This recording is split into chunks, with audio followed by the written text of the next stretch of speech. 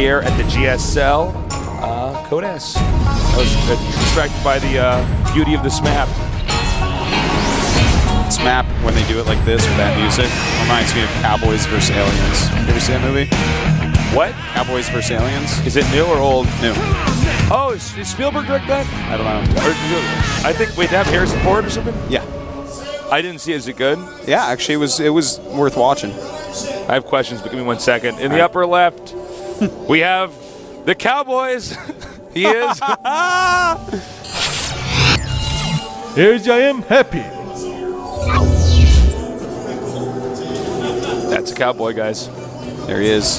Looks like Harrison Ford, kind of. Yeah, oh, totally. The resemblance is uncanny, Artosis. Yeah. In the bottom right, we have our Protoss player, the Aliens. He is. Genius. So is that movie actually good? Because I, I saw a It's trailer for that. reasonably I thought the prep. Okay, but is it like you know how you know how cynical of a human being I am? Like, yeah, like- yeah, yeah. It, they didn't take themselves too seriously, but Okay, it wasn't like right. comedy either. Yeah, it, no, it was it was uh, as good as you could ever imagine that Did you, that did you see be. Avengers yet? Yeah, I haven't seen it yet. uh, you should. It's worth seeing. It's worth seeing. Yeah. You're not gonna like how accurate that guy is with the bow, though. Like, listen, I can take people having superpowers, being able to fly, and like turn into invincible green monsters, and you know, just like This call down lightning. But the guy that like shoots that bow and like the way he was shooting that bow, no, tasteless. I could. I just there's something about that like hawk guy. It really rubbed me the Well, I mean, let's way. face it. It's hard to take a guy with a bow seriously. Like, we turn to a green Listen, monster. I'm like, well, that's serious business. I tell you what, I take Legolas very seriously, but it's just th- this guy with the bow. He's like he's like shooting it behind him and hitting stuff. He's just it's silly. It was silly. It was over the top. Even for superheroes, it was like, all right, really, really. Like, how do you? You- how many arrows did you shoot? How many arrows are in that quiver? Like, you shot how many? You were there for that long with people that just have like guns and stuff and like unlimited ammo, and they, you know, you. What, how many did you get with those 40, 40 arrows? Truly, how many did you get? And he's like, well, if you know, every time we see him, he's did shooting nonstop, and it's like, well, uh, based upon the length of this battle, how many of you killed? You killed like four hundred with like forty arrows. Like, how is this? How is this actually? Did the happening? arrows blow up or do anything impressive? Oh yeah, he has all sorts of different heads that he puts on the arrows, which that part was cool. But just look, his accuracy was too much for me. I, can, get it. I can I take, get it. I can take get everything it. else, not that though. But anyways, the rest of the movie was it was it was pretty good. I'm gonna check it out. Somehow I've like not seen that movie. I don't know how that's. It's like one of those movies that like I should have seen, but I haven't seen it yet. Somehow. all right, so there is a StarCraft game going on, Yes. and Happy to go for his command center first into double racks. We should be seeing double gas following that up in just a moment. Genius, on the other hand, very quick Nexus here. Now, um, this map is going to get more and more tense for both players as uh, if it goes into a long game, and it should because it's happy in the game. Um, basically, uh, you're going to be expanding closer to your opponent after the third base. So, and if you, as you can see, the um, the four expansions that are kind of in the middle, uh, spaced apart perfectly. So you can have moments where there's counterattacks or base trades. Yeah. It's totally totally possible in a map like this. Oh, definitely, yeah. If, if you're on the wrong side, you know that's what happens, or is more likely to happen, rather, if the game goes pretty long, and you know you're attacking one of these side bases, and maybe they're attacking another side base, and then you're both like, well, screw it, let's just make a beeline for the main. Um, but you know, on this map, I feel like games end before that for TVP. This is a map where I see, you know, base trades and half map, half map a lot in PVZ. Uh, but on for this matchup, uh, I haven't seen as good or as long of games for for these two races. two more gases uh, plated down here. And uh, it's interesting to see that Genius did not, uh, out of a best of three, he did not do one Void Rush. Do you realize how Yeah. long it's been since we've seen that for him? Yeah, sure. He always does at least one Void Ray Rush. he loves void ray rushes, man. He's really he's the best uh, at that in the world. Sorry, Rotterdam, but uh, Genius is the best at three gate void ray all ins. Um, now we have uh, more Marines rallying up here at the end. Rotterdam's always talking about how he loves that build. I know. Uh, I love anyways. Rotterdam. Yeah, he's really cool. Now we have, um, yeah. I mean, it's it's, it's going to be a little passive here for a little bit, guys. They're just they're just massing up. They're powering, as we like to refer to it. Now, Terran can always move out first here. You want to be careful with these Marines if the Stalkers are out in the middle of the map because you can kite the uh, Marines Yeah. to a degree. But, you know, the one thing about kiting with the Stalker versus Marines is it's so not easy to do. Yeah, you really You gotta know- practice it. And if you misclick, the Marine screw it steal up, you damage so quickly. Yeah, th- that you're like one or two Stalkers will die, and then you can just, you might, may very well lose the game. Now, Happy is taking control of both of the uh, towers. Genius probably will want to go out and clean that up in a minute. Very quick, robotics bay, and I'm not surprised because he got those two gases at the natural oh so quickly. I think this might just be a two base timing.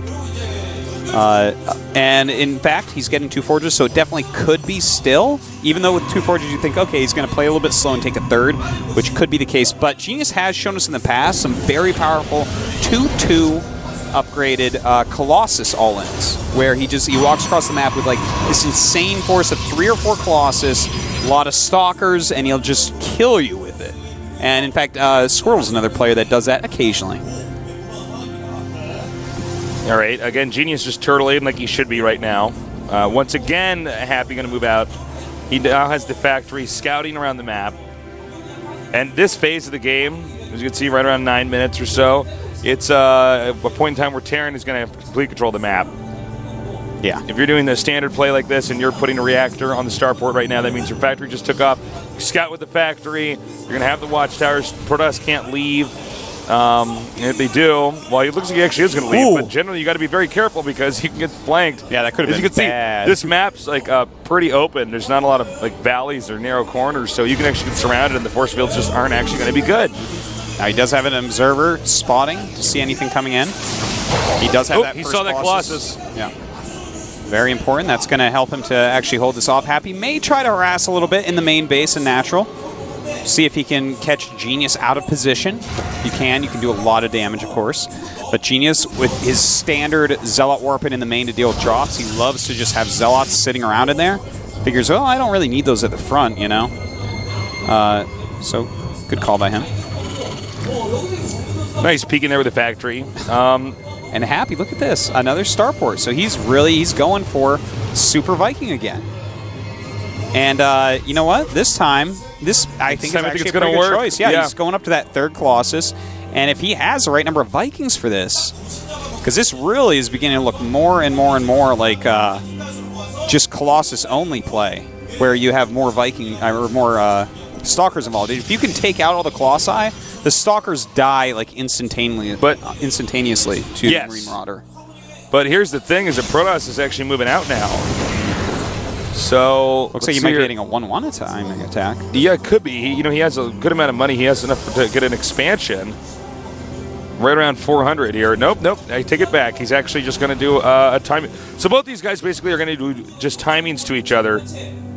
Um, now, unknowingly, uh, if there's enough Vikings out here, Genius is just going Oh. to die.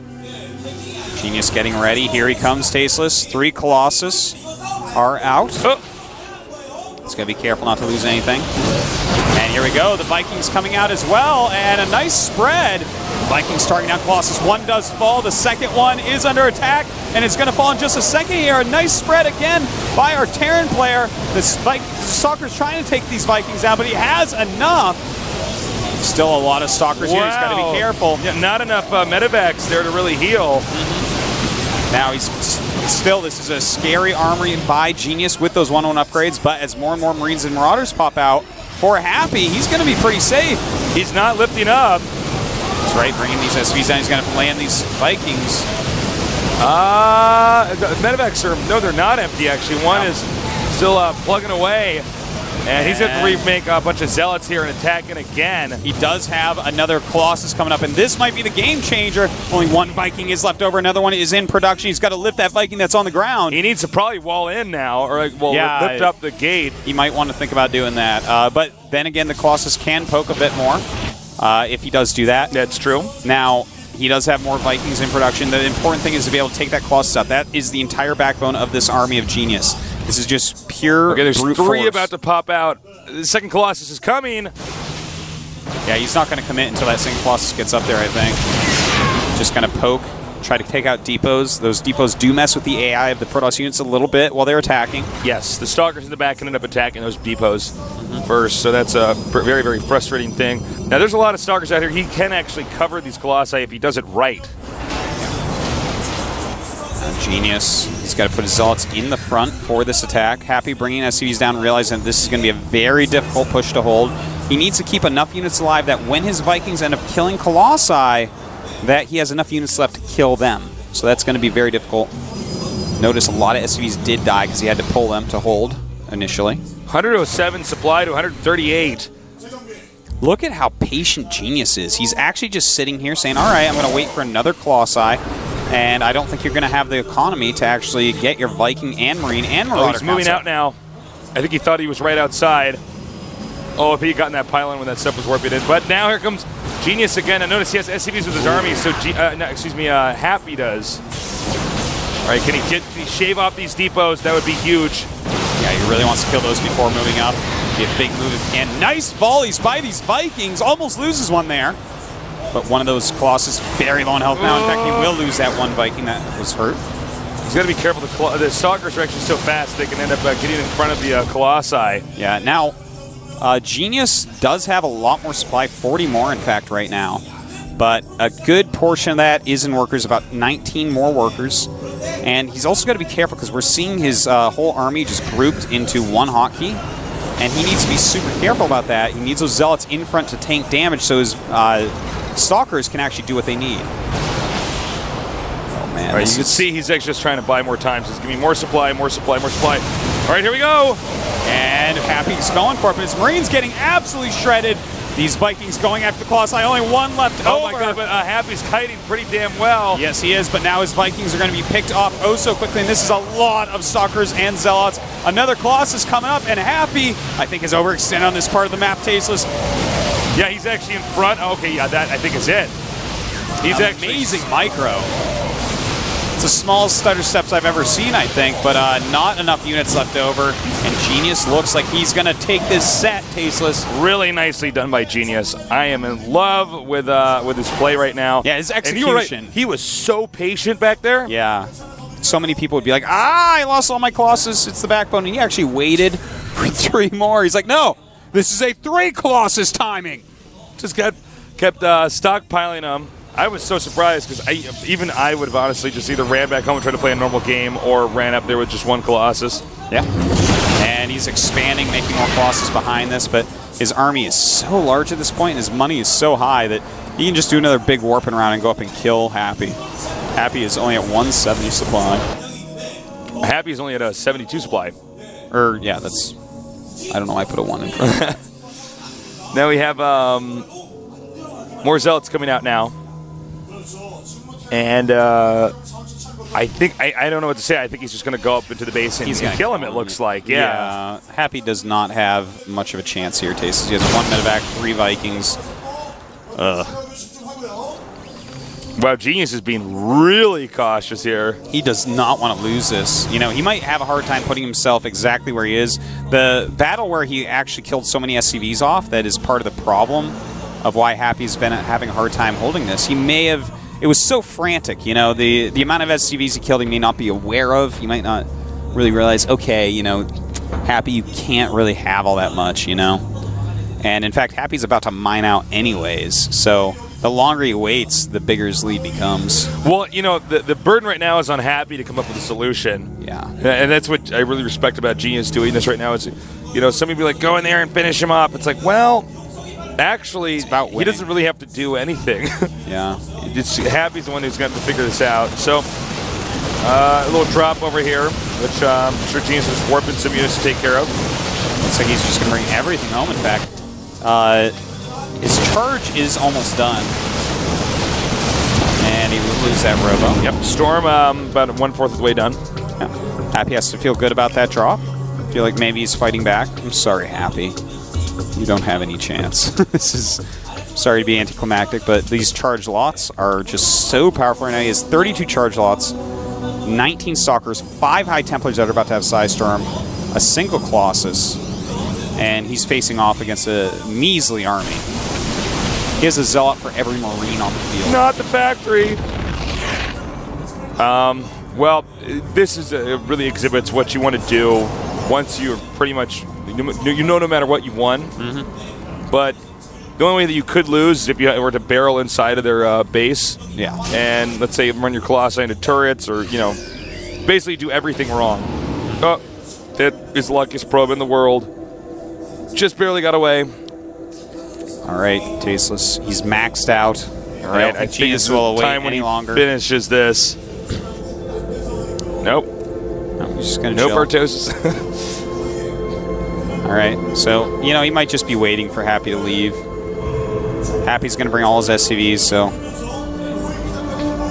All right, the final battle will happen now, finally. Mm-hmm. And um, it's going to be one that Happy should, by all measure, lose. you will. I mean, there's just too many uh, Stormers, too many, uh, well, too many everything, too many Colossi, Stalkers, Zealots. All right, Right. so get ready and watch a bunch of Terran step die. That's right. We're gonna see psi storms and charge lots. And here we go. Happy trying to micro as best he can. He's actually doing a great job microing here. Yeah. It's just unfortunate that it's not enough. This is like no longer a game of strategy, it's a game of numbers. And Psystorm's just going off everywhere. Happy's gonna have to GG. Yeah, that does it. Any second now, we're going to see GG here with Happy uh, going down now. He will have to face off uh, GG. All right. 19 supply left. Realize no chance. The end of that game was a little bit dull. Yes, it was. You know what I mean? Sorry, guys. Well, that's okay. It happens from time to time. It's not your fault, Tasteless. You think so? I'm Yeah. sometimes I'm a little bit too hard on myself when these games are the best games in the world. You are. Um, well, Happy uh, did a good strat, but uh, Genius, his execution was stellar. Yeah. So it's going to be Genius against MVP next. The winner goes right onto the round of 16. We actually saw MVP uh, just walk to his booth there behind, um, you know, our sponsors' products. So, Artosis, uh, what do you think, MVP or Genius? Oh, that's a good question, man. I mean, uh, MVP uh, obviously just won the finals against Squirtle, so I, I think I'll give him the edge. Yeah, I think so. Uh, Genius did show good play, but MVP is on fire lately, and uh, I think you got to favor him against basically everyone in the world right now. He's just too good. He is like the, I mean, along, I mean, ST too, but MVP just keeps winning everything consistently. I mean, it's. I'm really curious uh, if this is going to go on for years. Is he going to teeter off? Or are people going to figure him out? Because he is just at this level that I do not see. Even the games that we saw in the series, um, like series one that we casted just previously, just like pulling those four SCVs. When when, when uh, a, a Zerg impulsively scouts him with a drone, which Zergs don't normally do that early, but he's like, okay, well, I have a trick that's going to give you false information so that you do the wrong thing. Yeah. I love stuff like that. Um, we're going to go cast MVP and Genius after this five minute break, so stay tuned for more awesome action here at the GSL.